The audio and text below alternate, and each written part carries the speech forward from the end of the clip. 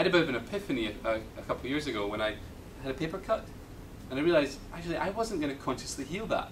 Something was going to work behind the scenes and uh, knit it back together and put a little scab on, and then that was going to fall off and there'd be new skin. But I wasn't going to consciously sit there and go, I'm going to fix this paper cut. As long as I didn't sit there and open, keep it open or stick stuff in it or whatever, it was going to heal itself, you know? So the body is this inner intelligence, this natural capability and ability to, to heal itself, and will do so whenever given the chance. And that's the trick, whenever given the chance. It's also important to recognize, though, that the body isn't designed to self-destruct. Do you know what I mean? The body and mind are very much interconnected. They're, they're, they're very much one. There isn't a body and a mind. There's the, the body-mind, okay? There's nowhere where you really see the, the body end and the mind begin and vice versa.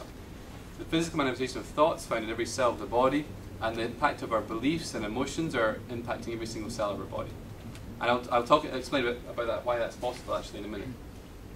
But the most important thing to recognize is that our body isn't against us, it's actually trying to survive. That was the biggest thing that turned things around for myself and, and helping other people heal their physical conditions. And we've helped people heal uh, conditions from skin conditions like eczema or psoriasis or acne, um, chronic uh, fatigue or migraines and headaches, eyesight, IBS, either that's constipation or um, going a bit too much. Um, uh, even things like acid reflux, heartburn, ME, uh, hearing problems, uh, pain, chronic pain is an amazing, we have amazing success with, success with that. So I've seen people instantaneously heal in front of my eyes. So my, my, my convince is really high right now because I've had over 600 one-on-one sessions in the last four years because of, I've basically been living out of a suitcase touring around the world and doing this ever since it started working for people. And so I, I've seen in my own eyes that the body is able to heal itself and will do so whenever given the chance. And it thinks the current things that are happening with your body is the best option available at this point in time to keep you alive. Now I know that might be, you might seem counterproductive, that it's like, how can this psoriasis be good for me? You know, you know what psoriasis is? Anyone heard of that? It's like this, uh, yeah, it's an excess of sk skin cells, right? But what I found, for example, doing my um, my work with people that have healed psoriasis, is that it links often with a, a, a sense of external attack. The root cause reason often links with external attack. Okay.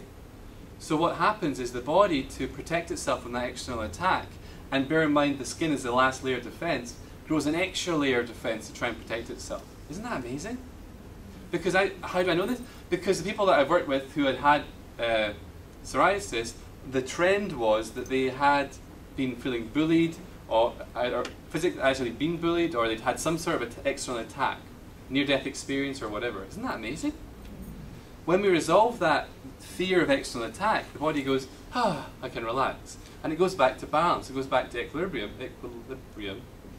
Basically, the skin cells just aren't required anymore. If there's no reason for it to be there, then they won't, they won't be there anymore. I had one client who, it's not even a client, it was a, a friend of mine, we were sitting uh, having a chat. He was smoking a cigarette um, in Mexico, and we were having this five minute conversation, and I, he happens to mention, because he knows what I do, that um, he's had really sluggish bowels for the last 30 years, you know. And uh, I was like, well, asked him the, the, the, the Mind questions, and he found an event in his past where um, he'd actually had an accident when he was a kid, you know. He, he shouldn't have gone and he went. Um, and it was a really traumatic, embarrassing experience, and it was like he learned that it, was, it wasn't safe to go to the toilet. It's so, sometimes it can be as simple as that. And so the body then responded, and he, when we, when he realized that, he realized it is safe to go to the toilet, it's actually safer to go to the toilet and not go to the toilet, he started laughing. But more importantly, he actually had to leave and immediately go to the toilet.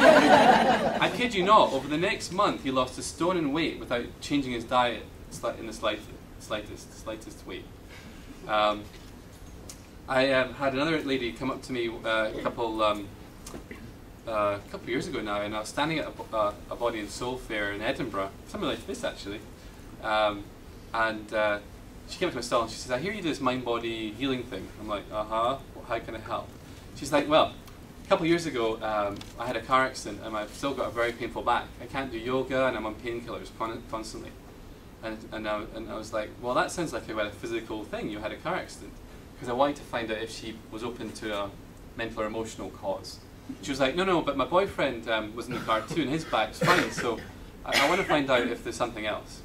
And so I looked around and thought, well, there's no one really talking to me right now, so I asked her the, the, the Mind Up method questions. And uh, she found an event, she gave me permission to share a story. Um, she found an event when she was like six or seven where, where her dad was uh, taken into hospital. And when I explored a bit further, her root cause reason was that she felt sad, scared, and uh, vulnerable, dad disappeared. That was her root cause reason, which is a little sentence. And so then she bursts out crying. And everyone, then people start walking around seeing that this person's crying with me, and they're looking at me thinking I'm a terrible therapist, right? and so I go, okay, come here. So we sit down behind my stall and we, we ask her the next couple of questions, and she releases it and takes it from a 10 out of 10 down to a 0, and it feels resolved. And so we resolved that, and uh, we have this little therapy session, and she's, she, she says, thanks, thanks very much, I feel much better now. She gets up and leaves, doesn't even buy a bloody book, but anyway.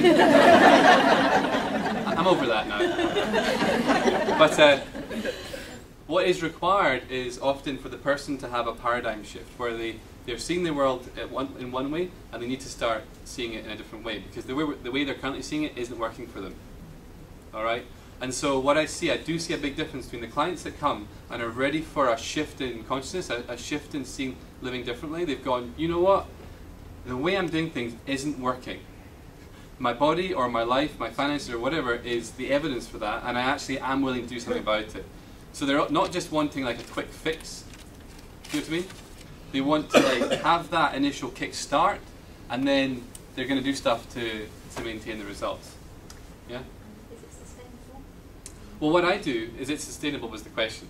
What I do personally is I take a two-pronged approach to helping people. So initially they'll come to me to help to change their mind using the Mind method, and then I'll teach them the form of meditation that I'm a teacher of, which helps them to change relationship with their mind and experience much more ongoing peace and, and reduce the stress in their life. So they're both changing the mind and changing the relationship with the mind, and that's what I see gives them the long term long term gain. Because the same mind that tells you you're having a good day today can come around and say something tomorrow that might say that you're really nervous or whatever, right? But it's just a pattern, it's a thought, a neuropsychological uh, pathway in your brain that energy is flowing th through, and the, and the thought is that thought but it's not actually necessarily accurate anymore. So the person needs to be able to see that thought and go, well, actually, that's just a thought. I don't actually have to act upon it. And so changing relationship with your mind is really important as well in, in the long-term game. Okay, just while we're on the topic of unconscious mind, I just want to mention, but not go into detail, that we have a perfect memory. Okay? We don't necessarily have a perfect recall of that memory. We don't need one. But if asked the correct questions, you can go in and your body will, your, your mind will just give you the answer. And so when you're having the experience of mind detox method, what happens is the questions, the practitioners are taught to ask them in a way that don't let you think and give, you, and give us your first answer. And that way we can get to, to the, the thing. So if anyone's thinking, going, I don't think I would know what event happened in my life, don't worry about it. The, the questions are for you. You just need to be willing to to sit back, relax, and say the first thing that comes to mind. Okay, guys? I know it's a thought that tends to stick in lots of people's heads and it distracts people from this talk, so I'm just going to put it out now.